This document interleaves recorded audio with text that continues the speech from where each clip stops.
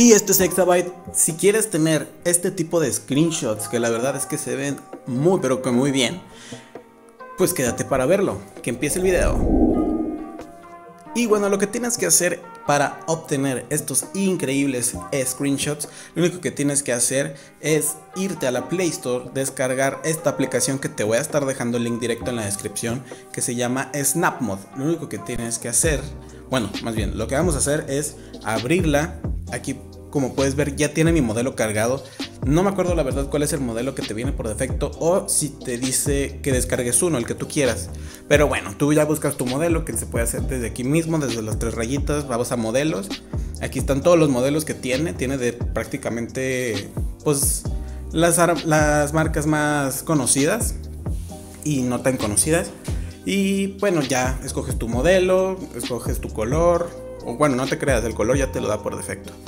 Entonces ya yo ya lo escogí, el mío es un Mi 8 porque estoy usando un Mi 8. Entonces la screenshot va a quedar como debería de ser. Y a lo mejor si pones en otro modelo va a salir recortada o a lo mejor un poquito estirada. Entonces te recomiendo que uses el de tu modelo. Y si no, pues si tienes un modelo que tú quisieras usar pero que sea más o menos de la misma resolución de la cual es tu celular. Pero bueno, lo único que tienes que hacer es, yo por ejemplo, mover aquí al, inicio, le doy screenshot, que pues, va a ser la screenshot que voy a usar. Abrimos otra vez la aplicación, le damos clic aquí donde está el, logo de SnapMod para cargar la este, screenshot y como puedes ver ya me la cargó, la verdad es que se ve increíble. Aquí tú puedes ir cambiando los modelos en las flechitas que están cruzadas aquí abajo. Puedes ir cambiando que diga los colores, que si quieres que se vea la pantalla completa, que, si, que, en la pantalla completa también cambie los colores del modelo, etcétera. Entonces yo lo voy a dejar así. A ver, cabe recalcar algo, yo tengo la versión Pro, me costó 9 pesos, creo que vale la pena muchísimo. Y bueno, es que ni siquiera cuesta muchísimo. O sea, vale la pena invertirle tus 9 pesitos o tus .5 dólares.